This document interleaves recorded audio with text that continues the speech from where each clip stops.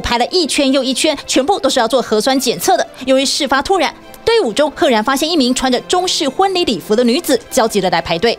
据了解，女子当天婚礼被叫来做核酸检测，为不耽误婚礼，工作人员安排其优先检测。一月七号，广东深圳在对重点从业人员进行核酸检测时，发现了两名确诊者。深圳政府立刻下达非必要不离开深圳、不出广东省的命令。他们在凌晨四点的时候就已经开始进行准备工作，并且在早上六点来到记者所在的小区为大家进行核酸检测。大巴士不断把做核酸的医护人员持续送往负责的社区，包括一箱一箱的医疗物资。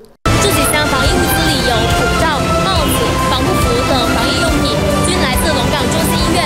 由于深圳常住人口就有一千七百万，如果再加上外来工作者，能达两千万，人口密度大。为了怕西安疫情大扩散的事件再起，深圳火速全员筛检。要离开还得持四十八小时的核酸证明，就连口岸都停止了。具体恢复时间另待通知。